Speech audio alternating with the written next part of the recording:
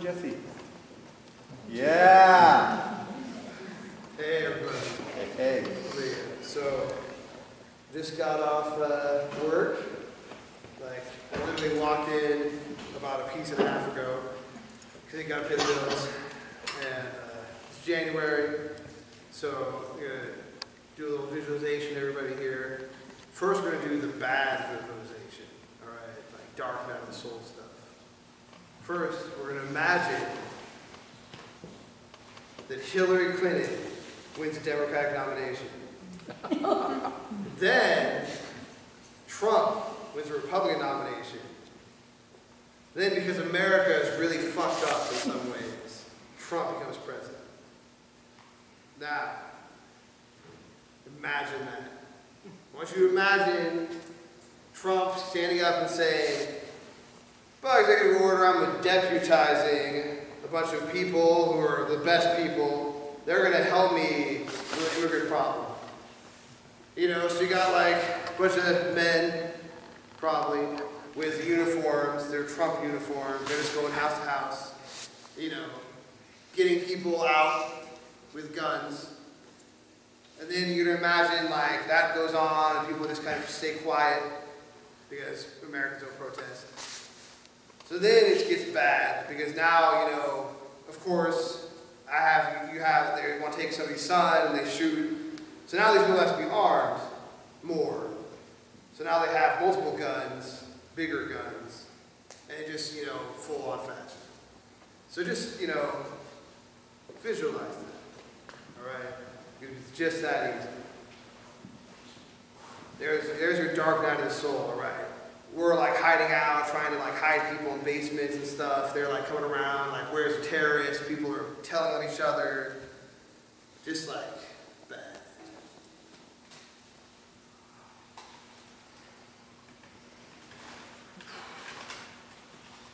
I visualize this not to torment you, but so you can think about it, because this is not like a far off thing. Now, good visualization. Somebody other than Donald Trump is president. And what's really bad is that he's, he's the least bad. Because Ted Cruz is doing it, knows exactly what he's doing. Trump is a sociopath. Ted Cruz, like, knows exactly what he's doing. He wants the power, for sure, and to be in charge. Trump just wants to be popular. So I think Ted Cruz, it just gets worse going down the line. Anyway, we're going to positive visualization. Positive visualization. You have, you know, a true democratic socialist as president, and people actually realize you know, maybe a 30-hour work week is a good idea. You know, we get single payer in. We start like realizing that if people work 30 hours a week, they have to drive less. So they drive less, it makes less pollution, you know, and we like actually work together.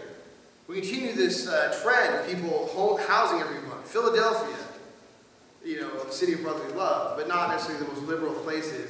They housed all their homeless veterans. Progress can happen, you know, and progress does happen. And we have, you know, investment in light rail, you know, across the country. We have co-ops booming because he shows people it's good to work together. You know, like, and people are having a good time. And there's no people marching from door to door saying, do you have any immigrants in your house? Instead, we say America thrives on diversity and we open up, you know, our doors. We create like, you know, like maybe there's a presidential potluck. You know, he helps people organize at a state level to have like get-togethers again. We put down the cell phones, you know, talk with each other. I know? Imagine that. Actually go and talk with your neighbors on, a, on an organized basis. Voluntary, of course, but organized basis. Wouldn't that be awesome? That's the good America. That's the community America. Dwight Eisenhower, executive order, sold us Facebook.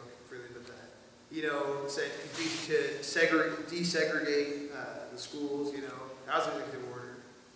Uh, I mean, it can be a good country. And I really want to tell this mostly to myself. I mean, you guys are here, maybe a little entertained, but mostly